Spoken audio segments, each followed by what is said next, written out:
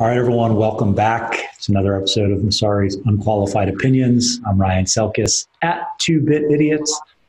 Another fantastic guest today. Excited to have Alex Leishman, who's the co founder and CEO of River Financial, a Bitcoin focused uh, institutional prime brokerage and, and multi services company. Um, we're going to touch on all things Bitcoin. Uh, River's somewhat unique strategy. Most exchanges, most financial companies are, are going broad with asset coverage. River is very intentionally going broad with the type of services it's providing around uh, Bitcoin uh, as an asset in particular. Um, Alex, uh, before we get into what River is and, and the direction that you're going, some of the, the recent developments of the company, why don't we just start off with a bit of your background, how you got into the industry? I know it's, you know, everybody has a rabbit hole story it's as good a place to start as any to give people proper context and, and help uh, inform why you're doing what you're doing today. Totally. Yeah. So uh, I got started. Uh, so I think it makes sense for me to go back to when I was an undergrad in college. I was studying aerospace engineering, but reading a lot about um, economics. Started reading Thomas Sowell, Milton Friedman. Uh, eventually, by the end of my college, uh, my undergraduate years uh, read Friedrich Hayek's Denationalization of Money, and after that had become obsessed with this idea of competing currencies and non-government money, and I formulated, you know, a, a big goal in life at that point to help create a financial institution that offered people access to money that was outside the control of the Federal Reserve. And I didn't know about Bitcoin at this point. Uh, it was just an interest of mine to you know someday do something like this. I didn't know how how it would work or how I'd be able to achieve something like that. Um, there were various ideas that had been floated around over the years, going back to commodity-backed money that was privately issued, all the way to you know, including things like Liberty Dollar. Um, but you know, you see how those those things ended for the people who started them, and was not very you know eager to have the same fate. So I you know just chewed on it for a while, uh, and then eventually it was uh, kind of diving deep into web web programming, web engineering, and came across this Bitcoin thing uh, on an online online class I was taking actually, and when I realized what it was, I um, you know I, I like this I had that light bulb moment. It felt like the prophecy had been fulfilled. and ever since then, um, I, I went down the rabbit hole, and then I've never left. That was you know back in 2013, and um, the rest is history. I've been so after that, I moved to San Francisco. I'm originally from Maryland, mm-hmm. um, and uh, moved to San Francisco. Went down the software engineering route. Uh, started as an entry level software engineer out here at a at a, one of the early Bitcoin brokerages that was focused on the market in Taiwan. I then ended up going back to grad school. Went to Stanford to do my master's degree in computer science, focused on computer security. Helped teach the first Bitcoin class there with Dan Boneh as the professor. I was one of the teaching assistants. Helped create a lot of the coursework for that. Um, now CS 251, uh, Bitcoin and cryptocurrencies. And back then it was it wasn't as sexy as AI but I think these days a lot of that class is pretty popular. And then, um, you know, been out been out in the valley basically, you know, the vast majority of my career. Uh, have mostly spent my time out here working on Bitcoin stuff. Uh, had a, had a short stint at Airbnb on the security team as well, just to get that sort of big tech experience, see what a big organization, an engineering organization looks like, and um, that was you know, pretty valuable. Glad I did that, but I you know, it didn't last long. I, I just missed Bitcoin too much. Um, you know, booking booking people's houses just wasn't as fun to me as uh, global internet money. So, uh, so uh, yeah, and then started River with my with my co-founder Andrew Benson, um, who's also my cousin. We started that about a year ago, and been working on that ever since. The company used to be called Alto Financial, and then um, we changed our name and domain uh, to River.com and River Financial uh, last fall. And uh, talk a little bit more about um, the strategy with the rollout. Uh, I think, given the polarization within the industry, you could imagine there would be a, a healthy uptick in interest just from the religious minded folks and Bitcoin maximalists uh, looking to promote a service like River that's going to be explicitly focused on Bitcoin as an asset, on soup to nuts services surrounding Bitcoin as, as a payment technology and, and settlement layer. Um, I assume that was very intentional, um, but let's talk about the breadth of services and then what, if anything, would uh, cause River to ultimately extend beyond just Bitcoin.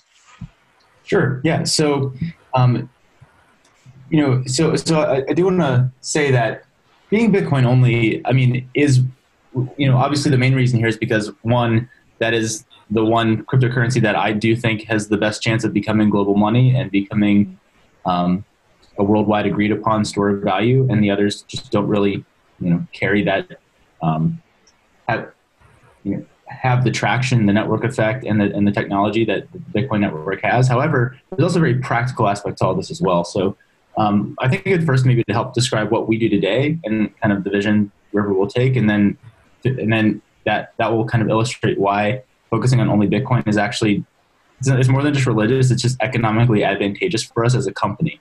Mm-hmm. So, um, so t- today, uh, our product is is mostly consumer focused, but we're we're we're quickly expanding into the institutional space. So uh, today, uh, it's very easy for an individual to um, sign up for an account. The onboarding flow is extremely easy. We try to we've, we've tried to simplify it as much as possible, even though we do have to do KYC stuff.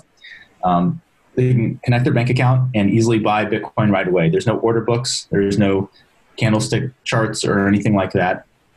It's an experience for somebody who's not a trader. Uh, it, it's the, our target market is um, you know people who want a Bitcoin only service and the simplicity that simplicity that comes with that, and access to, to deep Bitcoin um, tooling like you know um, native SegWit and the Lightning Network and things like that. We offer all of that, but we also are targeting um, individuals who are in the mass affluent to high net worth to ultra high net worth folks who don't know a lot about Bitcoin, but have an expectation for the type of tools that any financial service they use provides.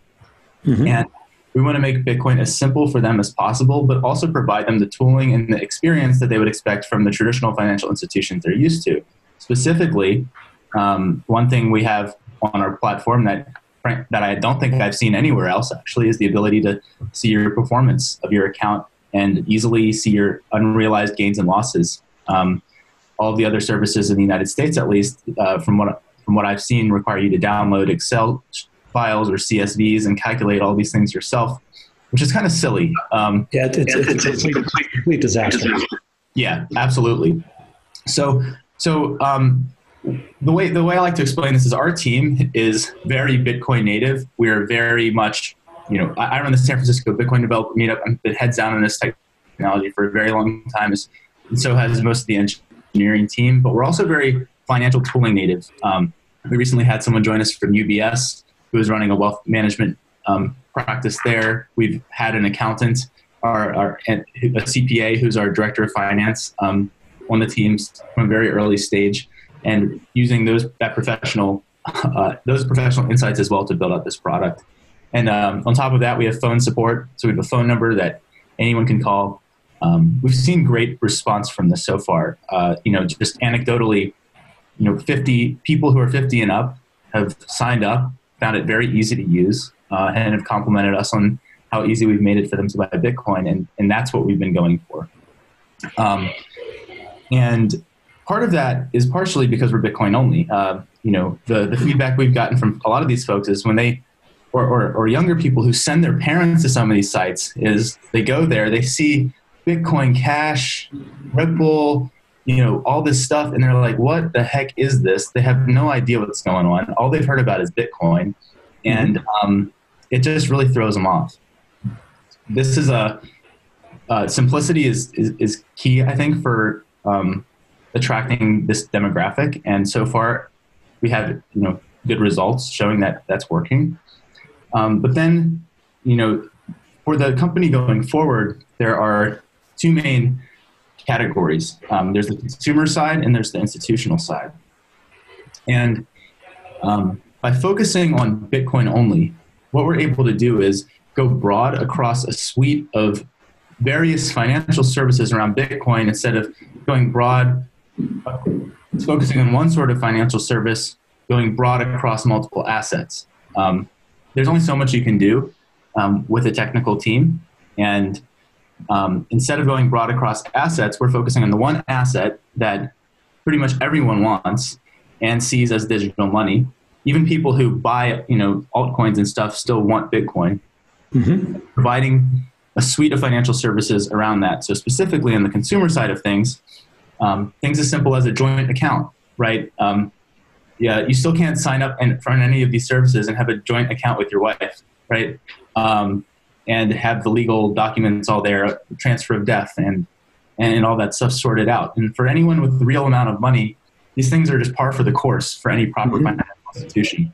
Um, focusing on the family, right? Um, most individual wealth in the United States, it's not held by a single person; it's held by some sort of family structure, right? Whether that's a joint account, whether you know, um, you know, people are married and have kids, and that wealth, the tools to manage that wealth, um, you know, needs to be more than just a single login, right? And uh, one person's name on that account.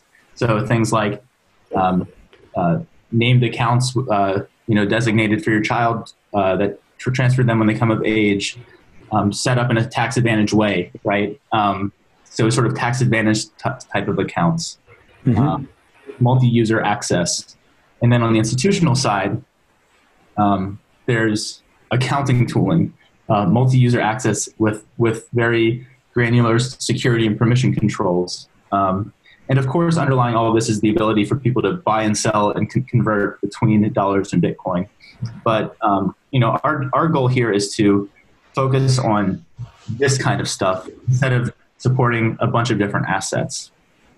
And then on the tech, on the technology and the backend side of things, by focusing on only Bitcoin, we can build a we can move a lot faster and we can build a lot more secure infrastructure because we don't need to abstract our systems across arbitrary types of private keys and signers and all that stuff. We can use native Bitcoin multisig for our cold storage. We can use Bitcoin's native hardened um, protocols and tooling for everything. And um, for example, like partially signed Bitcoin transactions is a standard that allows us to just have the standard way of passing Bitcoin transactions around to various parts of our system. And they all know exactly what to do and how to sign these things. If we added even just one more type of you know, digital asset, that wouldn't work at all. And we'd have to re, rebuild our systems and abstract them without the help of these, these well constructed standards. And um, it become you know 10 times more complex. So there is really a practical uh, aspect to all of this. And um, mm-hmm. so far, we've been very happy with the choice to be Bitcoin only. So first, let's talk about the, the consumer element because this is a non-traditional approach to go after two very different target markets. But I think it's one that's not necessarily foreign in crypto. And, and I speak from experience because when we think about Messari's customer user base long term, we're kind of riding the wave of the rest of the market. By definition, the, the power users, the hardcore hobbyists, and, and some individual professionals might be early users of our tools, but the expectation is that ultimately the industry graduates to higher and higher levels and this becomes an institutional asset class. For you and the support of Bitcoin, I'd imagine that's especially true. Having said that, from a consumer standpoint, who is the target consumer? Because if I take a 30,000 foot view, something like Coinbase, something like Binance, you know, a whole slew of other uh, consumer focused options, maybe Square at some point, Robinhood. Um, they all exist. They work pretty well, and, and, and they are very targeted uh, in terms of mobile app support, in terms of brand awareness and, and existing staying power. As you think about that split, are consumers just a byproduct of what you're already marketing to institutional customers? Or is there a real concerted effort, and have you seen some momentum early on with the consumer market in, in particular? So, so this company is was started with the consumer market in mind, um, specifically the Bitcoin power users and high net worth people. That's our mm-hmm. target consumer market, and that's what the product was built around and, and focused around, and it is today, and, and will be going forward. The institutional side of things um, is something that's more from inbound interest. And we've realized that there's also big potential there. And we're also working on building out those tools. So we're, we're so the, the core of our company right now and going forward will be our our individual consumers and the institutional side of things is quickly growing mm-hmm. uh, so in terms of um, you know the way we think about this is that we don't see so we, we see people who are using bitcoin uh, today as people are investing today in tomorrow's money is what we like to say so we're not building something that looks exactly like a brokerage, but we're also not building something that looks exactly like a bank. However, I would say we're, we're building something that looks more like a bank than a brokerage, right? The, the vision here is to bring Bitcoin to the world and to legitimize Bitcoin as money. And if people are going to use Bitcoin as money, people need Bitcoin banks. And we're building banking services uh, you know, not officially, like we can't, I'm not, I'm not, you know, from the legal context, we're not legally a bank, right? But that's the inspiration behind the services we're building.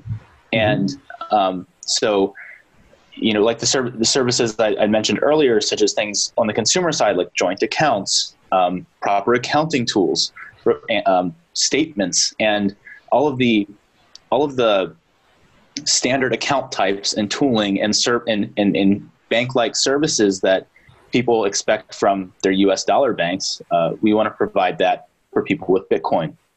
Same thing with institutions. I think I think uh, I want to I want to dive into this though because uh, it, it, seems to me you're talking about two very different audiences even within that group. You keep saying banking like services, Bitcoin is is like money or could be like money. Um, on the other hand, you know the the business model that I think you do have or the target that you, that you do have right now in terms of an audience, probably think about this more as a prime brokerage account because every single transaction is going to be a taxable event people are getting into Bitcoin for the first time because mm-hmm. they think about it like digital gold. They want to know what their cost basis is from a tax reporting standpoint as they think about things like tax loss harvesting or, or averaging in. all that absolutely um, so I I get a little bit confused if we're conflating that with a Venmo like payment app experience, which I don't think is what you're going for, but but you keep saying no. like services and, and, and Bitcoin as money. How, how, do you kind of reconcile the two things, or, or, or, are we just talking past each other a bit? Well, I don't think we're on on a different wavelength here. Um, so you know, we're not building a Venmo sort of thing right now. But if you think about what a high net worth person has with a bank, um, mm-hmm. it's a phone number they can talk to. It is someone who often has a high level view of, of their assets um, and can help them move their money when they need it. And mm-hmm. just because Bitcoin is also used as an investment, uh, and and that and people want to know their cost basis and their and see their tax lots, and which which we provide very clearly to everybody. We're even surfacing the ability to do specific identification when you sell and mm-hmm. transact, and we keep track of all that information for you. Bit, it's confusing because Bitcoin is confusing. Bitcoin lives in this weird world between an investment and money. And we've never seen anything like that before.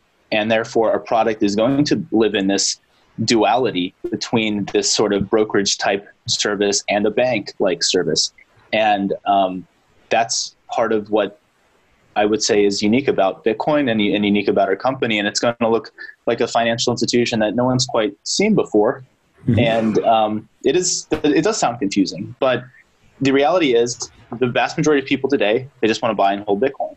But there's also a solid number of people that want to transact in Bitcoin, especially institutions mm-hmm. um, who are who are paying people in Bitcoin and using it as working capital. Individuals we expect will con- well as Bitcoin continues to grow, the the reasons to use Bitcoin will move more and more from an, an, a speculative, like long term investment to a transactional currency, or at least um, something that they, they do use to move wealth around. And that's you know so so that's the approach we're taking here, and that's how we're thinking about this. But whether or not it's a long term investment or they're using it day to day in transactions, um, the same needs still apply. People need these. Um, people need uh, joint accounts. They need multi-user access. They need accounting tooling. They need tax-advantaged uh, services, and mm-hmm. um, especially the higher net worth people, they want someone, they want a higher touch service that can help them out with all these things. Look, I, I, think it makes a ton of sense. Uh, I'll uh, I don't very rarely uh, do anything like this, but I'll, I'll, give you a little bit of a, a vouch and and uh, marketing plug here. I, I, think that most people that haven't been knee deep in, in the industry for a while don't understand what a fucking nightmare tax reporting is. You know, when I got into the industry in in mid late 2013, um, Coinbase was my first impression of the industry, as I'm sure it was many others. Mm-hmm. Um, then Circle launched. Then I opened up exchange accounts. Then I uh, transferred money to a ledger. I, I moved money to Xapo for, for you know, certain purposes. And one of the reasons I had all these different services in place was A, the fee structure was different, and B, you knew that enough services had failed where you kind of had to move money around just in case you were going to be a victim of some you know, hack or, or exploit. So it's just good portfolio management, just single asset portfolio management. And the long term disaster that I think that is going to cause for me, for so many other people, and it took hours, hundreds of hours probably collectively just to reconcile cost bases for, for my own personal taxes. I think that alone is is worth its weight in gold. And then if you can um, ultimately, pair that with something that I think you also do well this recurring buy option. If, if mm-hmm. you basically turn that into something where every single transaction that you conduct, which is a payment, is first um, front run maybe by a recurring purchase. So, so if you can take a tax consequence out of that transaction and, and essentially bifurcate between a savings account and a checking account, one of which is is just leveraging Bitcoin as a rail. Um, mm-hmm. The other, which is, is treated more like a, a prime brokerage account and um, and something that actually treats this as in, in, terms of your gains and losses. That to me seems like maybe uh, where this could evolve and, and and where you're able to thread that needle. This is a consumer payment and, and investment you know application under one one umbrella. Um, I'm not trying to lead too much but maybe give a little bit of, of a skeptic's context, uh, knowing that this has been a personal pain point for me. Um, and and know also ask like is is that spot on? Are there shades of gray there? What um, how are you thinking about that in general? Because pay you know uh, payments they're they're kind of a nice to have, but they're not a must have for most of Bitcoin's demographic today that's thinking about this like digital gold. Mm-hmm. That, that that's that's spot on, Ryan. And to to paint a picture of what the product is going to look like um, in in the coming months. Um, right now, you just have one account when you log in, one user, one account. To to paint a picture of what we're what we're building out here is, you'll be able to log in and uh, just and create multiple types of accounts, right? And so um, one of them being a sort of transactional account, um, similar to what you were saying. One of them being your account for you know, longer term proper um, investing, and uh, the, the the cost basis challenges and, and the reporting challenges when an account is shared between used for investment and transactions um, get really messy, and that's something that we have already started to solve for individuals. For example, um, right now. Uh, you see all your cost basis, but do you really want to see a, a, cost basis or a tax lot for every time someone sends you a 10 satoshis on the Lightning Network? Um, no, right? And, and, so we've we've been thinking through all of these sorts of problems. And um, you know the, the, way the product is moving is for the consumer you'll be able to log in see a transactional account see a you know deep savings vault um, uh, you know like lending tax advantaged accounts right? Um, do you have a small business you want to see that just kind of umbrella under your own under your own login. Do you have a joint account with your wife? Um, she'll be able to you'll see that you'll see her um, name on that as well, and she'll potentially be able to have access to that. Uh, you want accounts for your kids, uh, you'll see all those under your login as well, and um, you know that's the goal here. Uh, is that kind of future. Mm-hmm. Um, the so we'll talk about the second uh, element here, which is the institutional side. I, I think it, it, it makes sense as a wedge to build for an end user and individual in mind. As far as institutions go, there's a new crop that's coming in that's going to expect these types of services as, as table stakes. At the same time, there are other pretty darn good options between Fidelity um, and Tagomi and, and some of the upgrades that, that other uh, very large crypto household names like Coinbase are, are, are making on the um, on the institutional side. Mm-hmm. How how can you compete or, or how can you get a, a foothold into that market if part of your brand and, and MO is that you're not going to be supporting other assets anytime soon? Um, that's not a sacrifice that that many other institutional focused companies are going to make. And, and I want to finish the thought here just with a historical example. Um, I have tremendous respect for for Wences Casares uh, from Xapo. Mm-hmm. He was adamant for forever, and, and, I think still is, about supporting Bitcoin, Bitcoin only for mm-hmm. custody. That ended up hurting them significantly with crypto funds, other family offices, investors that needed multi asset support for institutional custody. And I, I'm wondering how you can avoid getting pigeonholed there or, or feeling like you're going to ultimately be forced to support other assets, even if they're not core, um, in the in the short to medium term for that clientele where you're going to have some whale customers that come to you and maybe they only want bitcoin to start but then there's another asset that crops up and they say actually we really like to take a look at this. We'd like to do it you know under one umbrella. Today you know face the do you as a company face the risk that you absolutely must support other assets sooner than you want to or, or risk losing some of that business where where does that fit on your list of concerns yeah and, and that's a great question and we get asked that a lot and i just i think it's kind of um, you know, to illustrate how we think about this, I, actually, uh, I don't think about not supporting other assets as a sacrifice at all. In, in fact, I think it's the opposite. I, I, think having to support other other assets is the sacrifice, and I think that what we, I think that the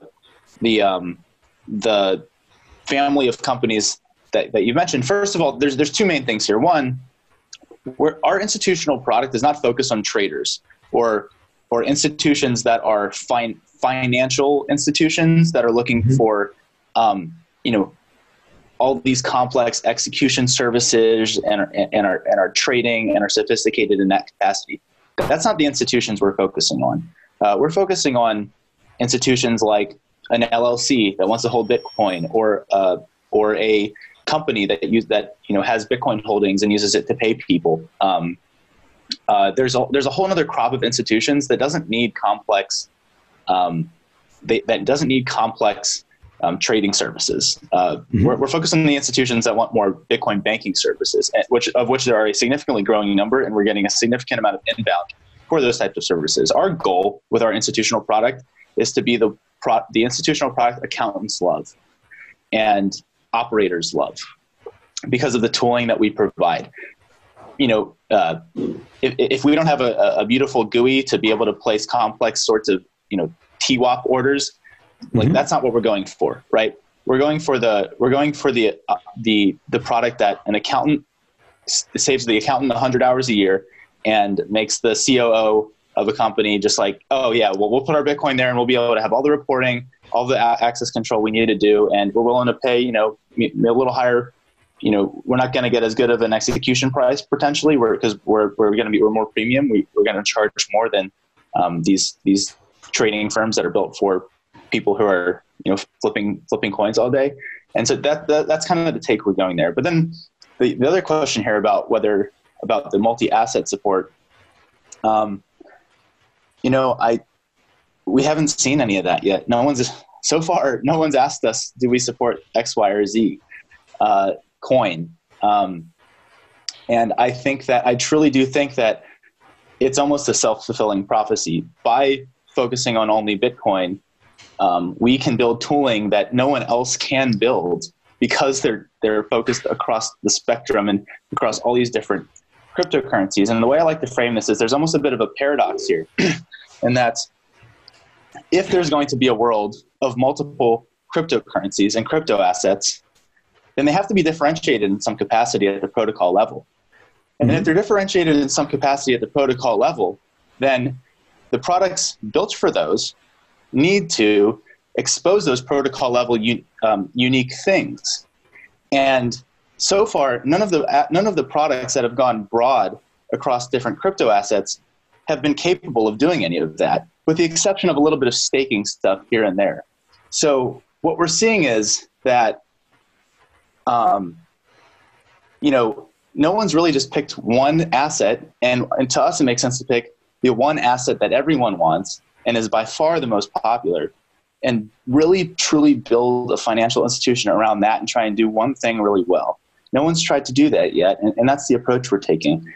We're not, you know, if we tried to go broad across a bunch of different assets, I mean, we'd just be like everyone else, you know, and and um, we wouldn't really be not need, be needed. We're trying to build something different.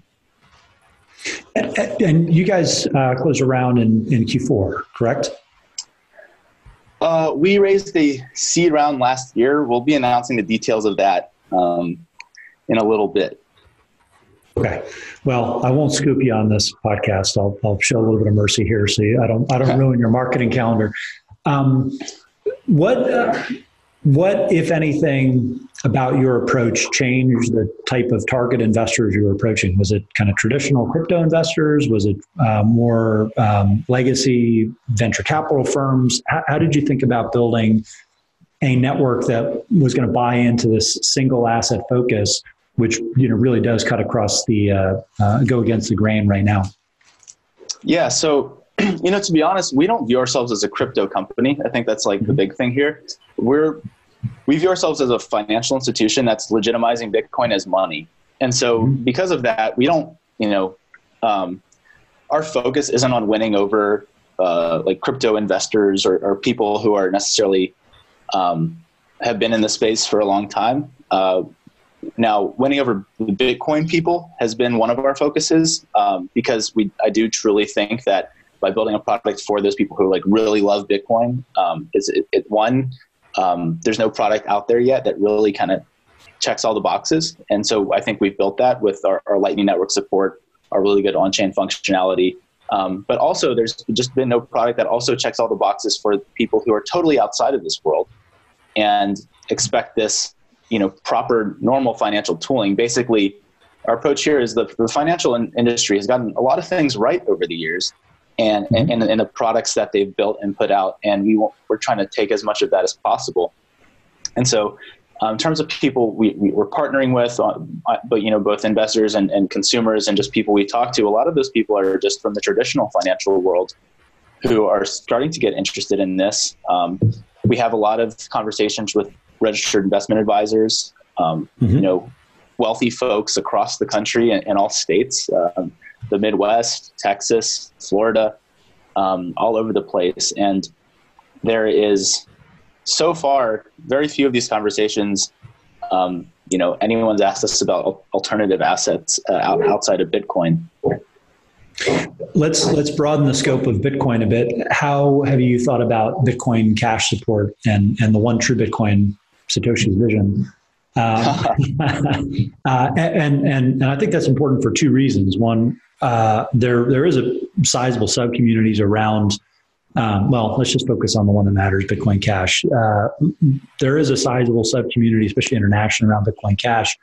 Maybe more importantly, the precedent has been set that there could be other hard forks and other assets that you may have to support or think about support for. Um, what is going to be the policy and, and, and thought process behind how to handle future instances of, of, chain splits where, where new assets might emerge and, and that effectively makes you either multi-asset or puts you in a position where you need to find a way to distribute the proceeds of the non yeah. fork to your customers yeah so um, actually nick carter asked me this question recently and you know the reality is um, i think it's a bit of a fool's errand to try to predefine the rules you're going to use for choosing a fork if there is one mm-hmm. and so we, we haven't done that. However, the reality of the situation is if there is a contentious hard fork and the other and, and, and both sides have significant value and, and we have to pick one, um, you know, the most likely outcome is that we do pick one and we only support one because our thing is doing one thing and doing it well. And, and then the second one gets, you know, we give clients the option to take the distribution and uh, you know give us an address to send it to them, or we just automatically cash it for the you know sell it and, and credit their um, their account for the the fork side that we do support. So that's that's the game plan. I don't see a contentious hard fork come. There, there's nothing on the horizon that I see causing something like this. Um, um, you know, maybe maybe down the road. Um, but you know, it, nothing nothing in the near term that I'm too concerned about. Well, time time will tell, but some of the privacy upgrades that might hit the Bitcoin blockchain could become contentious, just from a compliance standpoint. Um, if you want to continue to support these assets, or many of the major exchanges want to be in a position to support these assets. Um, that's maybe a little bit too down the rabbit hole of, of theoretical, but but what is your uh, position on on Bitcoin privacy and, and how to navigate that particular element? Um, just from a, a KYC AML standpoint, and, and some of the guidance is coming out of FATF and and the group of entities that are trying to triangulate around what a crypto solution to the travel rule can be. Yeah. So, there, I mean, there's two aspects to this. One is the protocol level, um, kind of privacy technologies that, that, that can be built, and the other is how companies like ours interface with regulators and uh, how the conversation around this moves forward. I do think that it's it's our responsibility uh, as institutions to help steer the narrative here and to help educate regulators on this issue and to do as much as possible to protect the privacy of our clients. Um, I think that it's still too early to know exactly how this is going to play out. I don't have the answers. Um, mm-hmm. My goal is to have conversations with the regulators, have conversations in DC, and try to explain to the regulators, um, you know, how one how this technology works, two how, I mean, we're already we already KYC our users, so um, if someone's committing a crime, uh, uh, you know, old, good old fashioned police work and a subpoena is perfectly um, capable of of solving any crime. So I, you know, I, I think that um, trying to turn every Bitcoin exchange into part of a surveillance dragnet is a huge mistake and isn't good for the United States in general. And that's a conversation that needs to be had. Um, I truly do think that, that that way of thinking is anti-American, and um, you know, very, you know, reminds me to something that, that, the Soviet Union would have in place. And I, I, I, think like that's a conversation that needs to be had, and um, and I think we can make a lot of progress here. Now, that's not to say re- regulators are, a lot of them do have very good intentions, and I've spent time talking to regulators, and you know, from their perspective, they they see people all day who are stealing money, committing atrocious crimes, and and need to be take uh, and need to be um, and justice needs to be served and they they you know their intention is to make it as easy as possible to stop bad actors now you know the unfortunate consequence of some of these um, some of the individuals who are pushing for like super super heavy um, kind of surveillance type policies for, for bitcoin exchanges is that you know um, it, the the privacy consequences are, are quite dramatic. And a lot of these chain analysis type tools where user information is being shared and um, and tied to Bitcoin addresses, it's just it's kind of scary. And um, so I don't have all the answers. I hope that you know us as an industry can work with regulators to move this conversation forward in, in a productive way. Um, so so yeah, I, I don't know. We'll have to see how this plays out. There's one other uh, component that uh, that I wanted to talk about, just switching gears a bit. I, I think uh, we, could talk about the theoretical and, and philosophical from a, a, a, legal, political standpoint all we want, uh, and and uh, I'm sure it would make for an entertaining sidebar. Uh, but I I think you know most people might be interested in the real nuts and bolts of um, of some of the different features that you're building. And, and the one that stands out to me as unique is your early support, given everything else that you're doing from a feature set standpoint. The, the one that stands out that is very different from any other you know, prime brokerage service or, or um,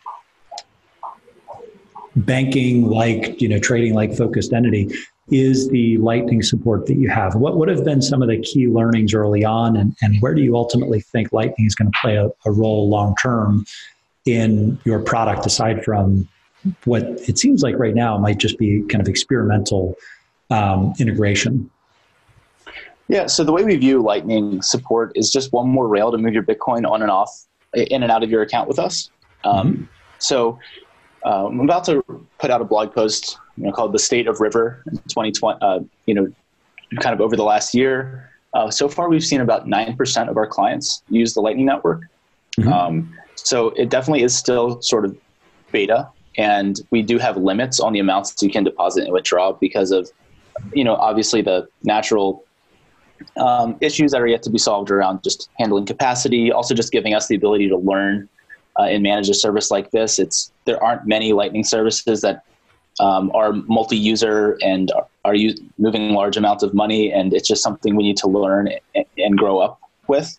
And so um, we have seen quite quite solid success in, in, in payments, and um, our clients have been overall quite happy. We do see some failures here and there.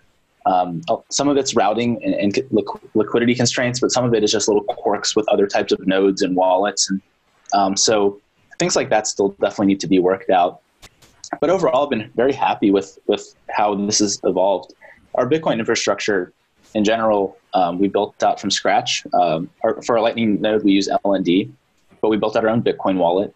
Um, obviously, it was Bitcoin Core for our consensus, um, you know, for, for our consensus and, peer-to-peer stuff. But uh, all of our Bitcoin infrastructure and our, and our, our web infrastructure is stored uh, on our own servers in a big 2,000 pound vault. Uh, we decided that early on that we couldn't go in the cloud and have a solid security foundation. This the attack surface is too large in a cloud environment.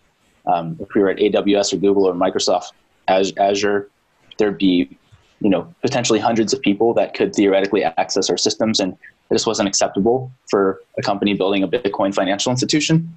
So, uh, we, but we've been very happy with how everything has worked out. Um, so, and because we're Bitcoin focused, we can do all this very focused, um, you know, uh, build these focused services around things like the Lightning Network, special wallet features. One thing that we're in the process of working on is giving clients the ability to set up um, an account by registering a hardware wallet so that instead of withdrawing to a specific address, they can just withdraw to their hardware wallet in the UI and even set up an automated recurring purchase that auto withdraws to that hardware wallet. Um, all of those things are things we can do because we have this custom Bitcoin infrastructure, and we can um, create you know arbitrary wallet types and have multiple wallets for multiple users. Uh, going forward, theoretically, we could do things where uh, we could have a vaults type of account where we have a segregated wallet for each individual user. We can see all of your UTXOs when you deposit them. We can send you, you know, theoretically, you know, a, a, signed uh, or dummy um, PSBT that proves that we have ownership of those UTXOs you deposited, which serves as effectively a proof of reserves. Um, mm-hmm. You know, there's all sorts of cool things we can do because of this. Awesome. Uh, well, Alex, uh, I think last but not least, uh, would love to hear your prognostication uh, and and and maybe a, a, a firsthand account of what, if any, changes in sentiment or customer interest you're seeing related to the halvening. There, I think this is maybe one of the most overblown um, narrative schisms that's that's you know taking place in, in you know the broader crypto community right now. Is the halvening already priced in because there's a ton of people that are emerging market hypothesis, you know, uh, you know, bulls and proponents, and, and a lot of ink has been spilled on the subject, or are we in a position where the narrative alone is driving more interest from both an individual high net worth but also institutional standpoint? Where have you seen any signal amidst all the noise given the service you're running? So I, I will say i don't know and i won't I, I don't ever pretend to know with these things and mm-hmm. anecdotally though um, it might be interesting to know that i haven't heard one person who's not kind of in deep in the bitcoin world already ask me about the halving um, mm-hmm. so i don't think that kind of everyday, um, you know, individuals, especially like high net worth individuals who are starting to think about Bitcoin are, I, I don't think they're actively thinking about this halving coming mm-hmm. up. Um, so that's not a, that's not something I've I think is top of mind for many people that I've spoken with. I'm not sure the implication there, um, but uh, you know, I, I've I've had only the only people very deep in Bitcoin already have brought that up at, at all. Interesting. Um, well, uh, in terms of what people should look forward to for new features this year, new rollouts, what um, what does the roadmap look like for 2020, and what are you most excited about? Yeah, so I'm most excited uh, right now about our effort to split out our user interface into this multi account, multi user um, structure where an individual can have multiple accounts under one login and add different users of various levels like accounting, uh, like, like their accountant or financial advisor or spouse and mm-hmm. create all these different account types. And, I, and I'm very excited about all these different account types that we're building out. So, like I mentioned, um, uh, kind of transactional accounts like saving, um, non custodial, where you're registering your hardware wallet with us, but we still watch your coins for you, um, and uh, tax advantaged accounts. And on the consumer side, that's the stuff I'm most excited about. On the institutional side, building this product that um, operators and accountants at companies that hold Bitcoin love is, uh, I think, going to be a really big deal. It's a beautiful looking site and service, uh, and uh, thank you. Certainly a novel looking approach. I, I can't imagine what you must have spent for River.com either. Um, so Wasn't cheap. I'm sure uh, five letter, uh, you know, pretty pretty prominent brand name. Uh, can't be can't possibly be cheap, but it, I think it speaks to the the brand that you're trying to build and so far, uh, by by all appearances, it, it seems to be working. So, uh, good luck for the rest of this year. I, I, hope things go swimmingly well because if they go well for you guys, it probably means it's going to be going well for me as a personal Bitcoin bag holder. Um, probably. But uh, but in the meantime, uh, where can people reach out, find out more uh, about the company and uh, and and you personally if they want to follow you on Twitter? Totally. So um, river.com is the domain. You can request an invitation there for a consumer or reach out to us if you're an institution. We have a page for that there as well. Um, if you want to reach out to me directly, uh, my email is alex at river.com or you can follow me on Twitter at Leishman, my last name, L E I S H M A N. So yeah, I'm very, um, I'm easy to reach and try to be pretty responsive. So feel free to reach out if you have any questions. Alex, thanks again for joining for this episode. And thank you, everyone that's watching, listening, half listening. Hopefully, it was an entertaining episode. We got much more to come. Uh, but for today, Alex Leishman from River Financial, uh, an exciting new Bitcoin financial services company. So thanks again. And until next time, peace.